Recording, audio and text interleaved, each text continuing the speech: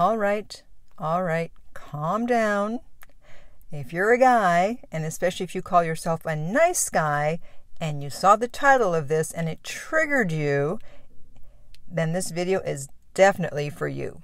You've probably been dumped and or friend zoned because of your niceness. And I'm going to explain the real reason why women can't stand a nice guy and what you can do about it. Hi, this is Lucia with The Art of Love. I'm a dating and relationship expert specializing in helping you get your ex back or to get over your ex. And welcome back, No Contact Army. Have you been a good little soldier? If you have, then you've downloaded my app Silenzio. The link is underneath every single video and podcast.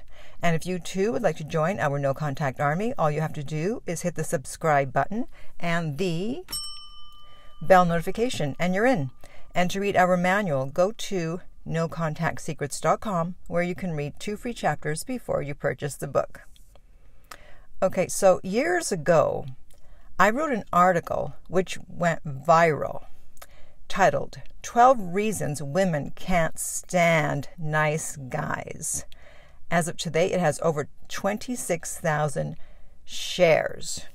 So I don't know how many people viewed it, but it's probably close to a million because people don't often share videos or articles. However, if you look for that article today, you're actually not going to find it on the site that I posted it on because they repurposed it and they changed the title to 12 reasons, 12 brutally honest reasons nice guys finish last. Not quite the same article, or not quite the same title. Plus, they added stuff to the article. So that's not my original article. You can actually read it on my website, theartoflove.net. And it had a huge reaction. Guys were not very eh, happy with me. But hey, you know what I always say the truth will set you free, but first, it will piss you off. So when people, and namely women, talk about nice guys and the fact that they're not attracted to them, they usually use words like, well, they don't have boundaries, they're doormats, they're people pleasers. And that's all true. However, these are all secondary reasons as to women, as to why women are not attracted to nice guys. There is one reason why guys behave like this, and in turn, women are turned off, and that is because of their attachment style. Nice guys, also known as betas, have an anxious attachment style. That, that's what is driving their behavior. So, I'm going to go over some of the points that I made in the original article and tie this into an anxious attachment style. I'm not going to give all 12 reasons. If you want to read my original article, like I said, go to my website, theartoflove.net. So, first, let's define what an anxious attachment style means. And I got this definition from Adam Lane Smith, who specializes in attachment styles. I highly recommend you check out his channel. I'll put the link below. And he says it's the belief that there's something inherently wrong with you which makes you unlovable. So let's go over some of my reasons, which I keep teasing you about. And let me preface this by saying that these reasons that I wrote, I wrote them instinctually as a woman looking at nice guys and why they turned me off. At that time, I did not know anything about attachment styles. And now, reading back on the reason, I can see that they are all because the guys had an anxious attachment style. So, reading my first point, I said, not real.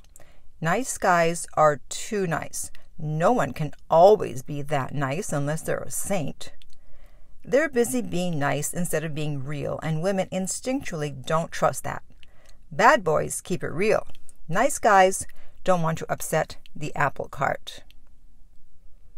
So they're not real because they feel unlovable. And then they feel they need to earn approval and they will be over eager to please. And they don't want to upset, as I said, the apple cart. So they'll tiptoe around and not be their true selves, thinking that it's going to turn women off. So they wear this mask. However, It's exhausting to constantly have this mask up. At some point, the mask comes down and then the truth comes out. And women can feel the energy difference between someone who is being real and someone who's just trying to earn approval. That mask is not sustainable. And that's when things fall apart. If they haven't already fallen apart because the woman sensed that they weren't being authentic. Women want authenticity, not niceness. Although you can certainly be nice while you're being authentic, but you cannot be authentic if your only goal is to be nice. The second point I made was that no one respects a doormat. Nice guys don't set boundaries or make any real demands. A bad boy doesn't let a woman walk all over him or control him. Women can't res- uh, respect a man they can control. No respect equals no attraction equals friend zoned. So again, this try uh, this comes from trying to be safe and to please mommy. Otherwise, they fear they'll be abandoned. And while being abandoned when they were a child would have led to dire consequences, possibly even death, that's no longer the case because you no longer have to rely on your parents 100% for your survival. But you're still stuck in that childhood mentality of thinking you'll be abandoned and therefore you won't survive, and therefore you must do whatever you can to keep this person around. And by the way, if you're finding this video helpful, please give it a like so we can help more people find the video and we can help more anxious slash nice guys become more secure. Okay, the next point I made was called sperm wars.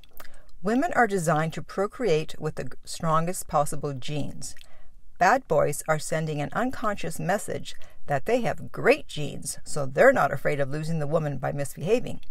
Nice guys are sending a message that they don't think their genes are good enough, so they won't misbehave.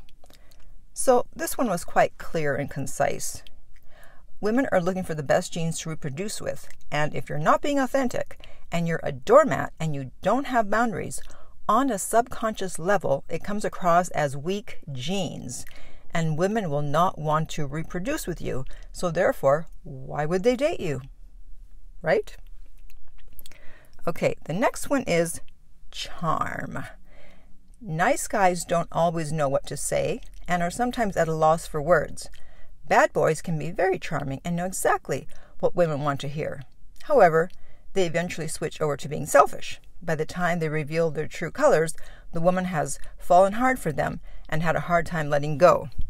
So, first, the bad boys attract them with their charm, and then when they drop the charm, the women are already attached and they have a hard time letting go, as I said. So, this goes back to the fact that the nice guy is not being genuine, and therefore they don't always know what to say because they're watching their every word and every action so that they won't be abandoned. Nice guys are seeking validation because they feel that if they get validation, that means they're lovable. So instead of being outward focused, which is what makes someone charming, they are inward focused in their attempt to get the validation they so desperately desire. Whereas the bad boys, they're not looking for validation. They they give it to themselves. And then one last one I'm going to mention is protection. And in the article I wrote, historically, men have protected women, physically and otherwise. Bad boys give the illusion of being able to protect women, while with nice guys, women aren't so sure. So this comes down to confidence. Bad boys project an air of confidence, and therefore the woman feels that this man will be able to protect. Whereas with the nice guy, since he's busy being a doormat and not establishing boundaries, he doesn't come across as being able to protect, and therefore women are turned off. So I've given you five of the 12 reasons. You can read, uh, you can read the remaining seven, as I said, on my website, theartoflove.net. So if you're listening to this and you're like, oh no, what am I going to do? I'm a nice guy. I have a, an anxious attachment style. Well, don't worry. Why not? Well, because it can be fixed since it's a learned behavior from your childhood. You're no longer a child, and while you're not responsible for the attachment style that you have, as an adult, you are responsible for fixing it and becoming more secure. And for that, as I mentioned earlier, I would suggest checking out Adam Lane Smith's channel, and I'll put the link below. So now I want to hear from you. Do you have an anxious attachment attachment style, or have you dated someone with an anxious attachment style, and how did it turn out? And in the meantime, if you would like my help to get your ex back, you can contact me at theartoflove.net and we will send you the rates. The direct link is below every single video and podcast. If you found this video helpful, please like, subscribe, and share. If you're listening to this as a podcast, please rate and review. And finally, remember that love inspires, empowers, uplifts, and enlightens.